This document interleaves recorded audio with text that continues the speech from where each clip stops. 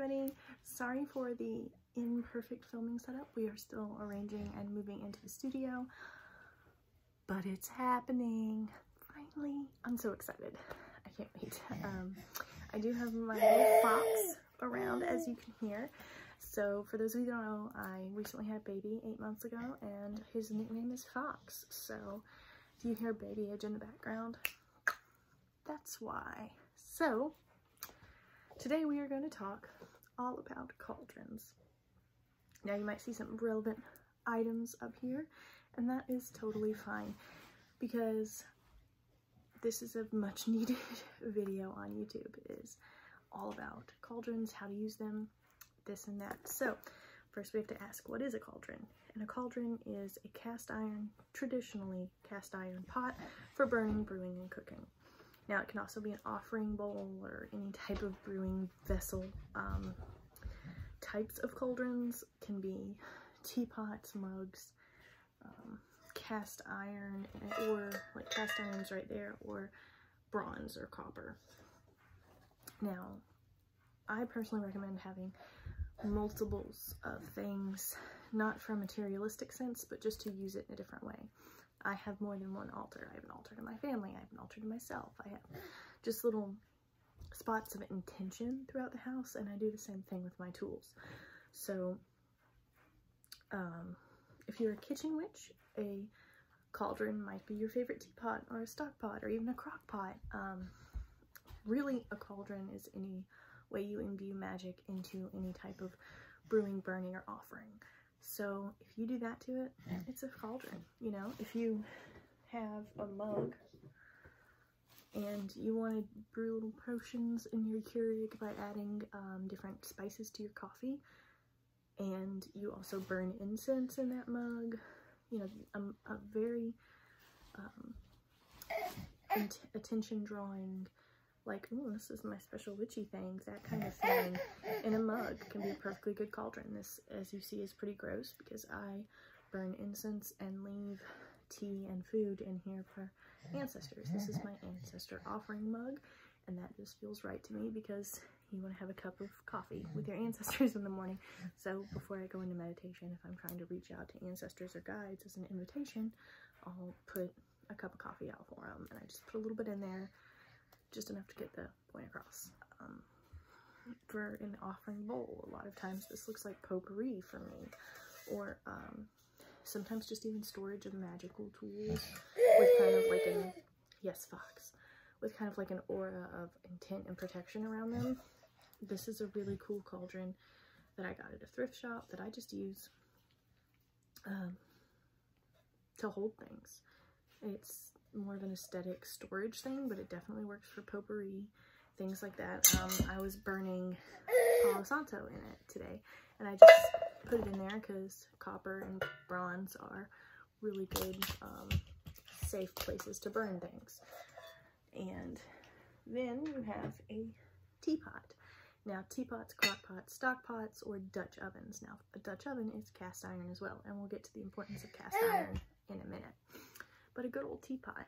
Um, if you're not a tea fanatic, you have open pots like this, and this one is stained because it's from 1926, so it does have staining in it, but it's clean, I promise. I've scrubbed the hell out of it. But I brew my tea in this, and I do need to get a tea strainer for inside to put loose leaf teas, but for now I'm using bag teas in this, and like last night, I made a kind of vibe check, curse breaker, like get these yucky people I've encountered off of me type of potion and it was black tea with half of a pomegranate sliced into quarters and um, clove and cinnamon and honey in it. So I just used this last night to brew a potion, a potion, an intentional tea. And this little baby right here is actually burning um, some lavender incense right now. Um, but this is cast iron, right? Now, these are the traditional cauldrons you'll see. My friend Coleman has a huge one, which in the South is called a meat pot because you would cook meat as you killed the animals, huge volumes and quantities of meat. in these probably 80 gallon pots, you know, look like he goes swimming out. And he put a piece of glass over one and that's his, uh, his dining, or not dining room table, his living room table is that. So this is another perfect example here. Um, small but mighty. It's got three legs traditionally. Um, these are the double double toil and trouble kind of things. And as you can see, I keep, I let the ash accumulate and then I use it in black salt and I use it in protection things. But when you clean cast iron, you don't like use water and soap and scrub it. Um, me personally, I just use a damp rag and scrub it out. But if you feel a cast iron anything, like it can be in Cracker Barrel or whatever, they're rough, right? And they get so hot, it's sanitary to do this. This is going to sound gross and like freak the germaphobes out, but they season by clinging onto fats, lards, flavors, things like that, and it actually kind of seals itself in. And so the benefit of cast iron for a spell working cauldron, like this is the one I do spells with, this is the one I burn intentions with, this is the one I activate sigils with, this is where I burn my incense, and I mix all those ashes in, um, is it seasons with your craft. And it kind of, I don't want to say levels up because it's not a contest. He knows, he knows the deal. Preach it, baby. It's not a contest. But this really is an important thing to grow with you. If you can't do it, you can't do it. If you're in the witch closet, broom closet, don't worry about, oh, I have to have a cast iron cauldron. It's not that. There just, there is a benefit.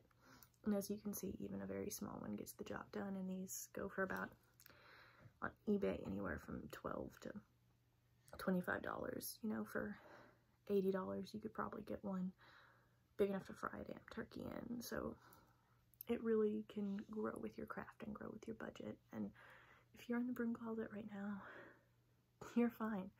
You are completely fine. Go to Goodwill and get a mug you feel drawn to and just be careful because, you know, heat can crack things. Um, but mugs are usually tempered for coffee and boiling water and tea, so you should be safe. As long as it's a teacup or a mug, I wouldn't get like a plastic Disneyland cup and be like, I love Disney, so I'm gonna burn my incense in a Disney cup. Like, chill. That's how you get your house on fire. And always use fire safety when working with this stuff. But yeah, that is cast iron. And you know, they this one is kind of rusted because back in the day, I would burn Florida water in it, which is kind of extreme. um, burn alcohol-based things. But yeah, that's that. So, how do y'all use cauldrons? What are your favorite ways? What are some unusual ones you've seen? I love the crockpot cauldron. It reminds me of the, the one sister from Hocus Pocus who's on a vacuum. Like, yes, your basin can totally be a vacuum. Your cauldron can totally be a crockpot, you know. Just have one of the crockpot inserts that you pull in and out for burning stuff. Like you can buy the little crock pots. Um, I think those are actually dorm safe. Um, a wax melter if you can't use incense and you're in like college and stuff. You can buy um, wax melts that are herb based and do your cinnamon, do your clove, do your lavender things in the wax melt.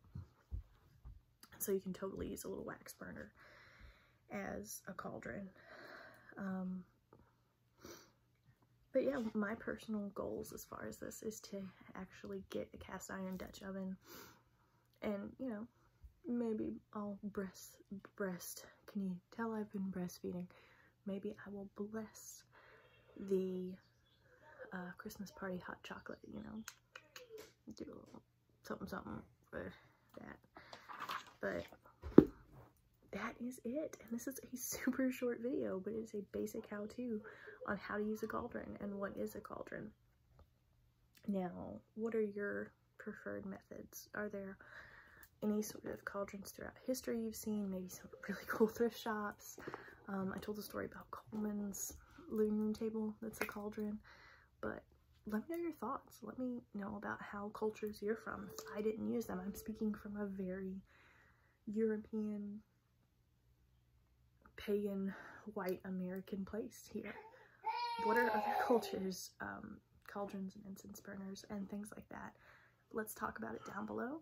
Don't forget, I opened up a witchy Discord, which is slow going right now, but let's totally get that thing active. The link is below, and I am also offering readings.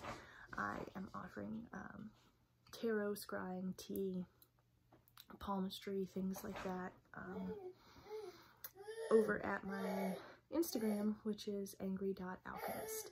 So all of that information will be down below, and have a great witchy season and tell me your favorite things to make in a cauldron.